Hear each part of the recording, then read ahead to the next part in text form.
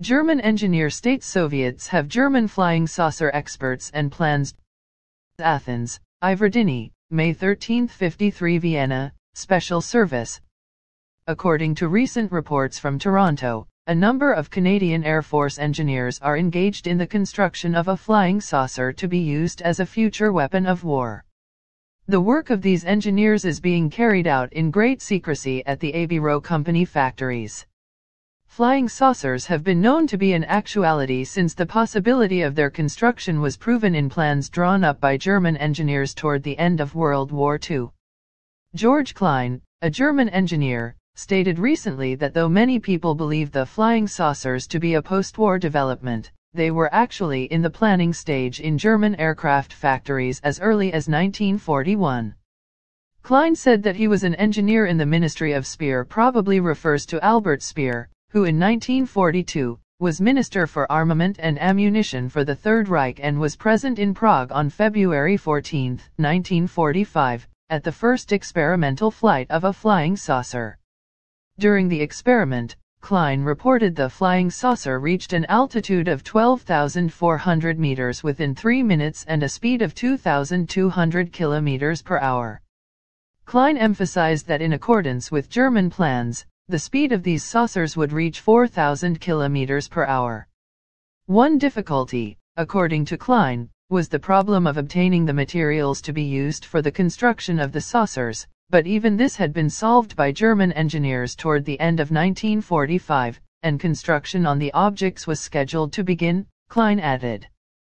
Klein went on to state that three experimental models had been readied for tests by the end of 1944, built according to two completely different principles of aerodynamics. One type actually had the shape of a disc, with an interior cabin, and was built at the Miethe factories, which had also built the V-2 rockets. This model was 42 meters in diameter. The other model had the shape of a ring, with raised sides and a spherically shaped pilot's cabin placed on the outside, in the center of the ring. This model was built at the Habermohl and Schriever factories. Both models had the ability to take off vertically and to land in an extremely restricted area, like helicopters. During the last few days of the war, when every hope for German victory had been abandoned, the engineers in the group stationed in Prague carried out orders to destroy completely all their plans on their model before the Soviet forces arrived. The engineers at the Miethe factories in Breslau, however, were not warned in sufficient time of the Soviet approach, and the Soviets, therefore, succeeded in seizing their material. Plans, as well as specialized personnel, were immediately sent directly to the Soviet Union under heavy guard coincidental with the departure from Berlin of the creator of the Stuka, Ju-87 dive bomber, who later developed the MiG-13 and 15 in the Soviet Union. According to the report, nothing is known of the whereabouts of Habermohl since his disappearance from Prague. Schriever died recently in Bremen, and Miethe, who escaped in a Messerschmitt 163, is in the U.S. Klein was of the opinion that the saucers are at present being constructed in accordance with German technical principles and expressed the belief that they will constitute serious competition to jet-propelled airplanes.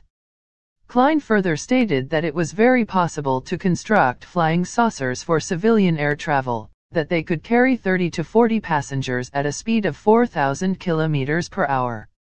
He added, however, that the tremendous amount of material necessary for their construction did not warrant their being built exclusively for civilian air travel. His opinion was shared, he stated, by Giuseppe Belluzzo, the Italian specialist with whom Klein has been corresponding for some time.